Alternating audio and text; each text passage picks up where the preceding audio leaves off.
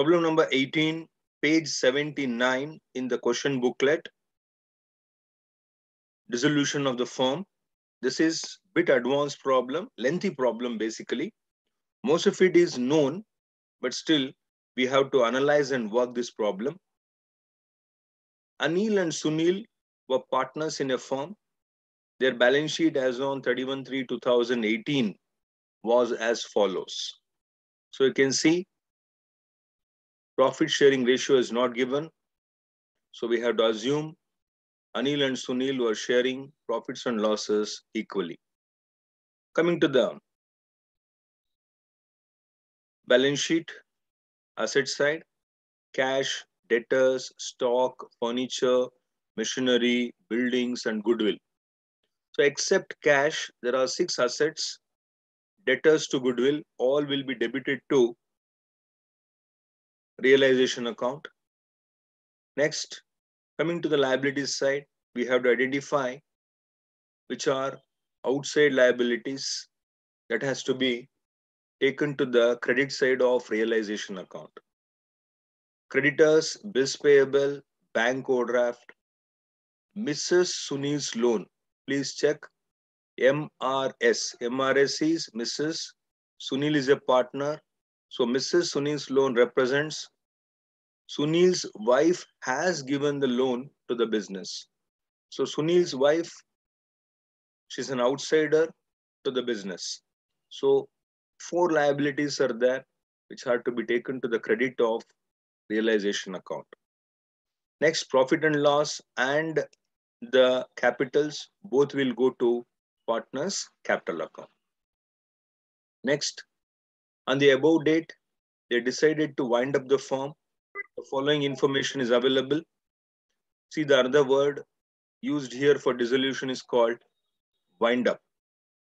So three possible words are possible where it is possible to identify it is a dissolution problem. First word is dissolution. Second word is liquidation. The third one is winding up or wind up. So you may be searching for the word dissolution, but all the three remains the same. You can underline the word wind up. That is nothing but dissolution. The following information available. A. Debtors realized 10% less. Stock realized 10% more. Building realized 62,000. Vehicle, which was unrecorded, realized 4,000. So vehicle is not there in a balance sheet asset side, but it is realized 4,000. Next, furniture was taken over by Anil at a valuation of 9,000. Next, creditors to be settled at 10% less and interest on bank overdraft due 500 also to be paid off.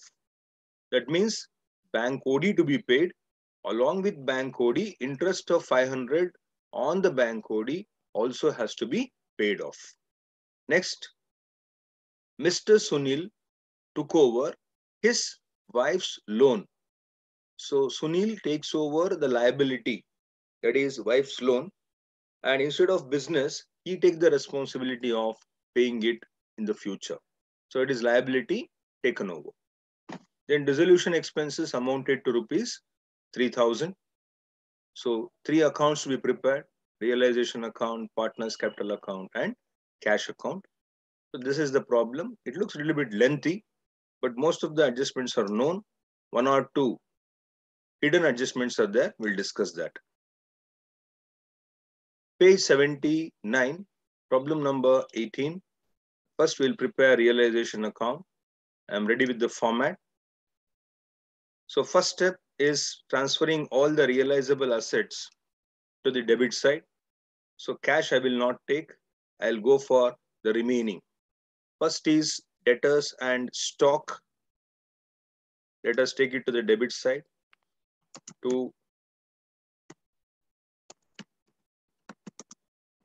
debtors account 15,000 to stock account 18,000 two assets I have taken next I'll take furniture and machinery 12,000 and 20,000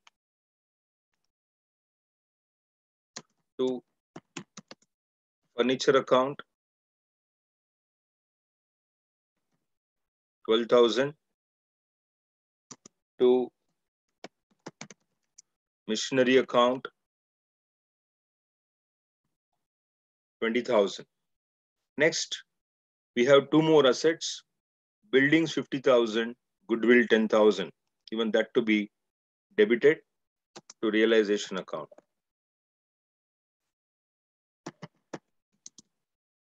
To buildings account,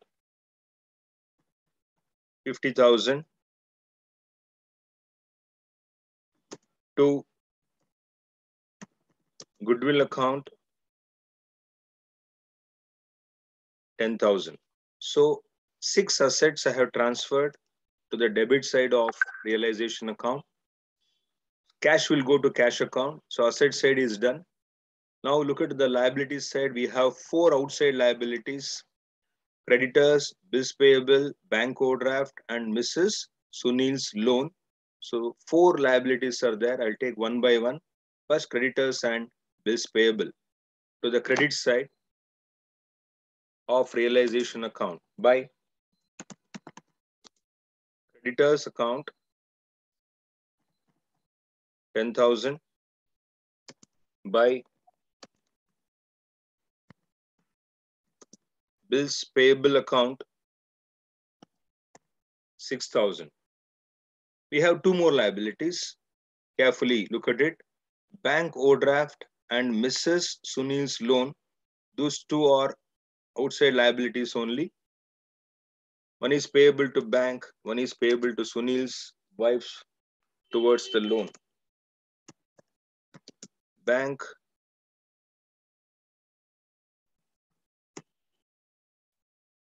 overdraft account 4000 by Mrs.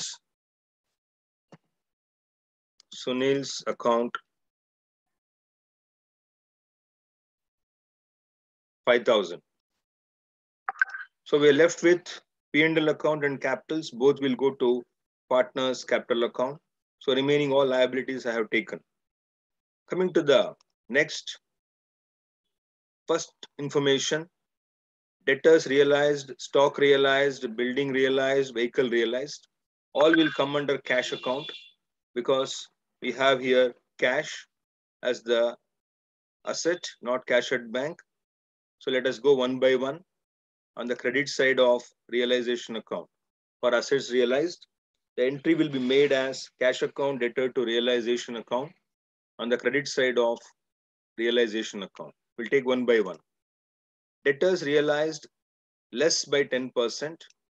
So let us take the value debtors first.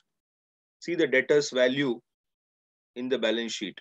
That is 15,000.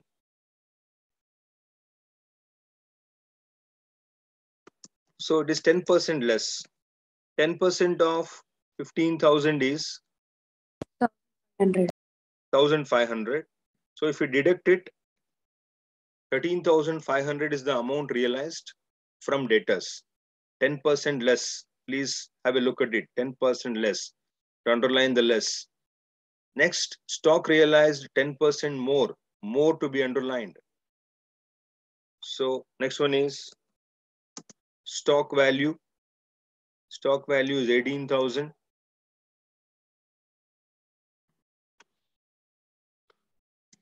Ten percent more, ten percent of thousand eight hundred. Sorry, eighteen thousand is thousand eight hundred. So total amount realized nineteen eight hundred. Ten percent more.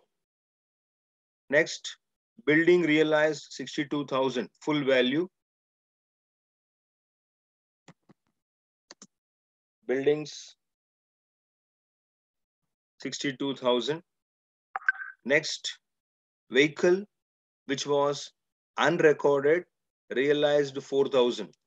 Any asset is converted into cash, everything will be coming under by cash account only, whether it's recorded or unrecorded. It is one and the same. Just for your reference, I'm writing there vehicle unrecorded 4000. Next, furniture was taken over by Anil at a valuation of rupees 9000. So this is furniture taken over by one of the partner Anil. So by Anil's capital account, Anil is taking over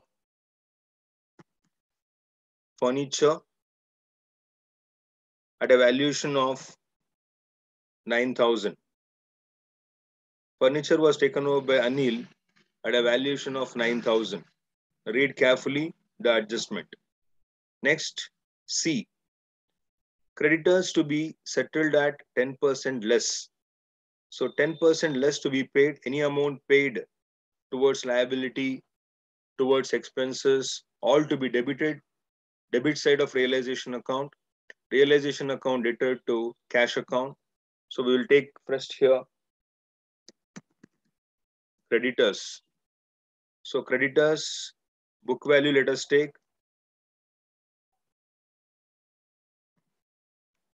ten thousand. So ten percent less. Ten percent of ten thousand is thousand. So amount paid will be nine thousand by the business. So business is not paying ten thousand. Business is paying only nine thousand. Next, and interest on bank overdraft due rupees 500 also to be paid off underline the word also also means first we have to pay bank OD bank OD amount 4000 to be paid in full next interest on bank OD 500 also to be paid. That's what they have given. Bank OD due rupees 500 also to be paid off. So first we have to pay bank OD, then interest on bank OD to be paid. Next, Mr. Sunil took over his wife's loan. So to Sunil's capital account. Instead of paying cash, Sunil is taking the responsibility. So under his name, Mrs. Sunil's loan amount is not given. We take balance sheet value itself. That is 5,000. So balance sheet value, as you can see, 5,000. That 5,000 to be taken at the same value. Next, dissolution expenses amounted to rupees 3000. So dissolution expense to be paid under the heading cash itself.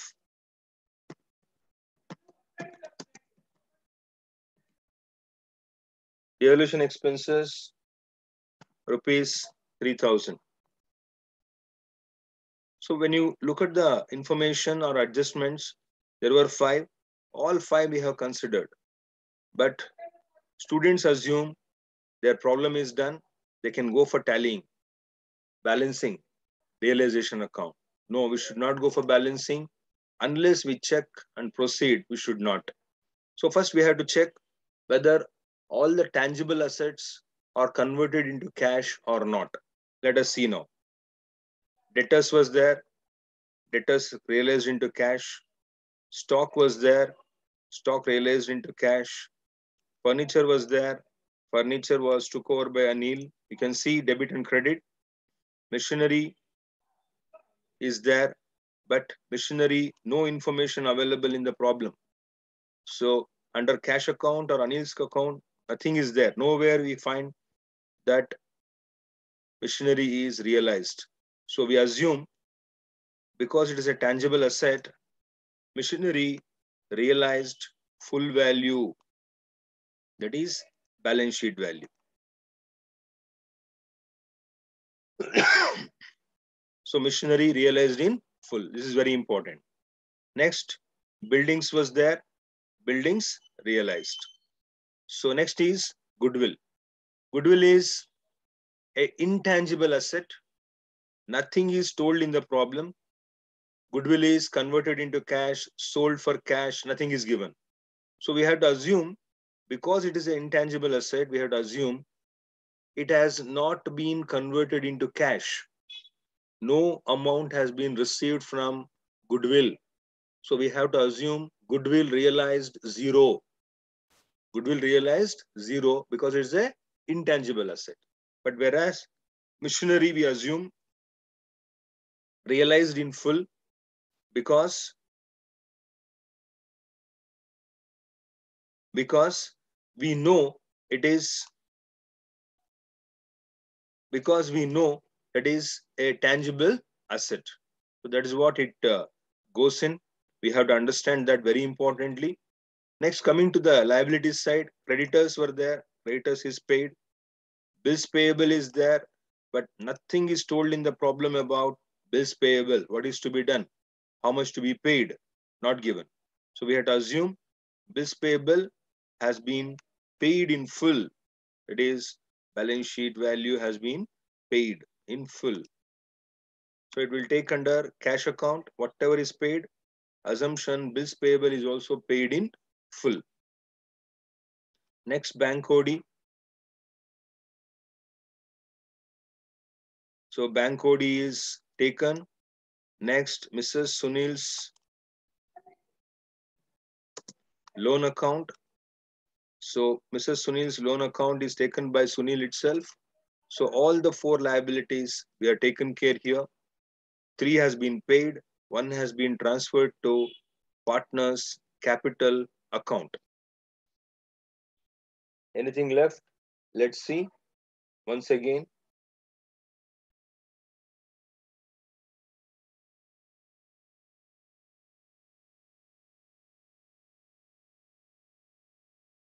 So nothing is left therein.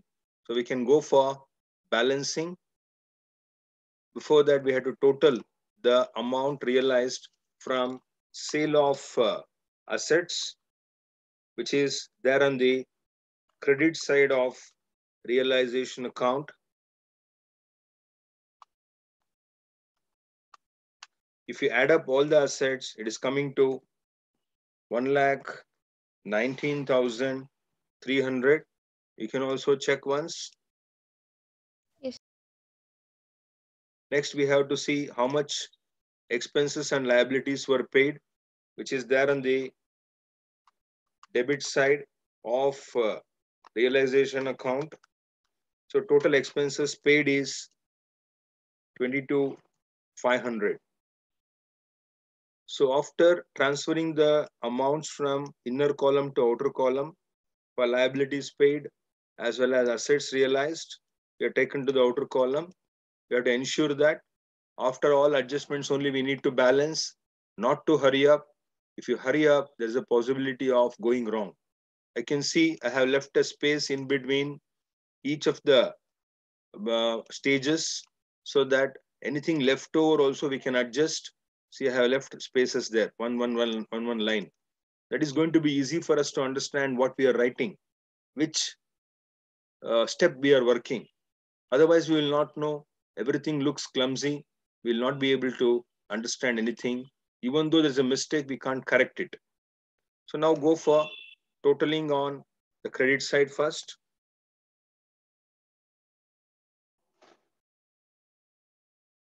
For me, credit is looking uh, more. So credit is more. Yeah. So I'll go for uh, totaling 1 lakh 53 300. Same total, I will take it to the debit side. Now I'll go for deducting all this from that amount.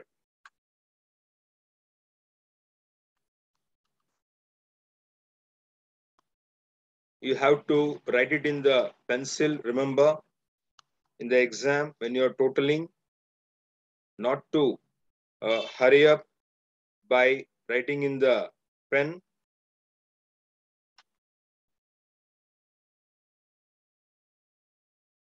Because if you write in the pen, you will not know you're done right or wrong. It is why you have to do it in the pencil. So balance is 800. It is realization profit. We have got it by balancing between credit and debit, 800 rupees. This has to be shared among the partners, Anil and Sunil equally. Remember, because nothing has been told. So we have to assume their profit sharing ratio as per the act, as per the provision, it is equal. So Sunil also 400 and Anil also 400. That amount to be divided in their profit sharing ratio. This is completion of realization account. The next account to be prepared is combined partners capital account. So combined partners capital account is based on uh, the partners amount, what is to be paid, what is to be received. So always we have to start with capitals. Capital of Anil is 52, Sunil is 45. Because it is on the liabilities side, it is by opening balance brought down for Anil 52,000 for Sunil 45,000 and we should not forget the order. Very important. Always capital first.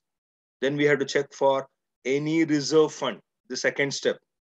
This will be very useful for dissolution death of a partner admission retirement whenever you're doing a capital accounts. Very very important. So after capital, we have to find, do we have any reserves, reserve fund, general reserve funds, etc. Nothing is there. Next is we have to find, do we have a P&L account? If so, which side? So we have P&L account here, 8,000 on the liabilities side. So it is a profit that has to be divided among partners by profit and loss account. Equally, we have to divide one is to one. So is a profit of rupees 8000 so this 8000 to be divided equally so that will be 4000 each so we don't have P&L on the asset side asset side means the loss that to be debited now we have to go for transfer entries in the realization account so we have to check for capital accounts there. So we have here by Anil's capital account. It is about furniture taken over for rupees 9,000. So it comes to the opposite side of the realization. It is the partner's capital to realization account asset taken over. So 9,000 rupees furniture is taken over by Anil. Only for Anil 9,000. For Sunil it is zero. Next, we have one more capital account, to Sunil's capital account. Sunil took so uh, take over take over Mrs. Sunil's loan. So that will be coming to the debit side, sorry, credit side by realization account, liability taken over. So Sunil takes over the liability for Anil it is zero. Next, we have one more capital accounts, two partners capital accounts that is the realization uh, profit of rupees 400 each to the credit side here to realization account. The meaning of that is realization profit 400 each for the partners equal partnership. So we have transferred all the capital account entries. There were three capital account entries. We have transferred all the three to the opposite side. Then we had to go for balancing and check how much amount to be paid to the partner or received from the partner by the business. So here credit is more for Anil, 50, 56, 400. For Sunil, it is 54, 400. 54, 400. Take this to the debit side. Then balance. So 56, 400 and we have an entry here, debit side 9,000. So we have to less that. Then we will get What? the balance, Forty-seven thousand four hundred. balance amount. Yeah, good. 47,400 is the balance. What do we get here? That is nothing but cash paid to the partner.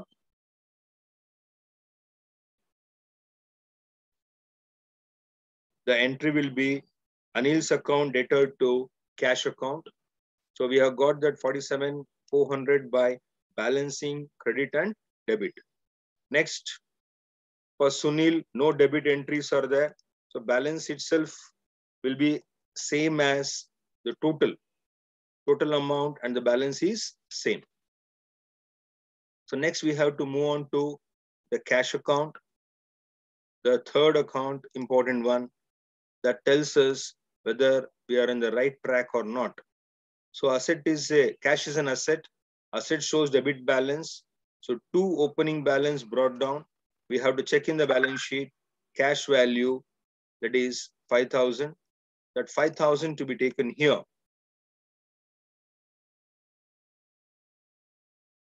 Five thousand. Then all transfer entries, wherever cash is there. We have here by cash, amount realized by sale of assets. It becomes opposite entry to realization account. Assets realized, one lakh nineteen three hundred. Entry is same. Cash account dated to realization. Double entry, one on the credit, one on the debit. So we have one more here, to cash account. That is for expenses and liabilities paid. Total amount, twenty-two five hundred. Entry will be by realization account. The entry for paying the liabilities and expenses, twenty-two five hundred. Then coming to the partner's capital, we have one cash here. It is to cash account for cash being paid to Anil and Sunil. So this will come to the payment side by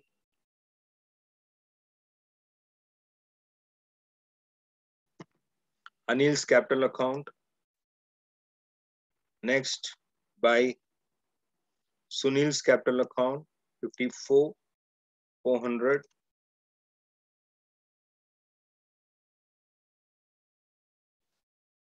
Then we have to total whether the totals on both the sides is same or not. We have to check. Sir, one lakh twenty-four thousand three hundred. Good. One lakh twenty-four, three hundred on both the sides. You can check it out. If it is that, then cash account is tallied, receipts and payments are equal. So no money left in the business. So the business can be closed. That is, accounts can be closed very easily without any tension. I have made some note here. Have a look at it.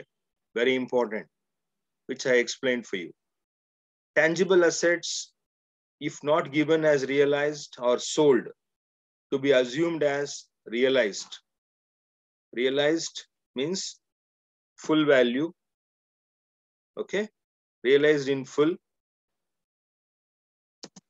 That is nothing but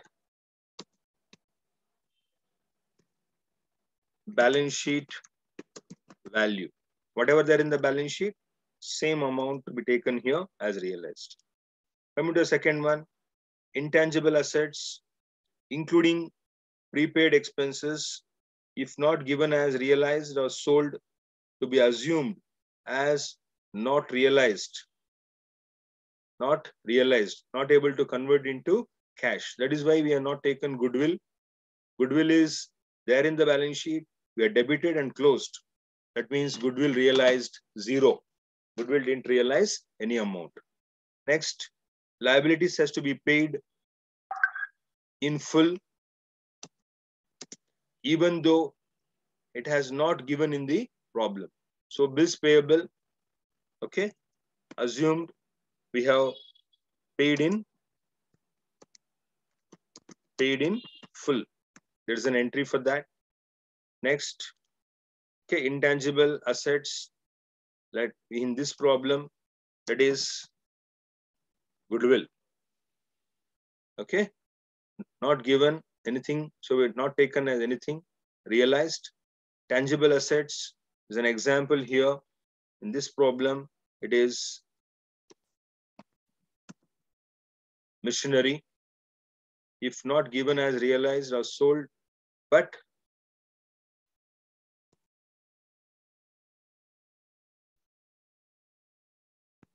but to be assumed as realized in full, that is balance sheet value.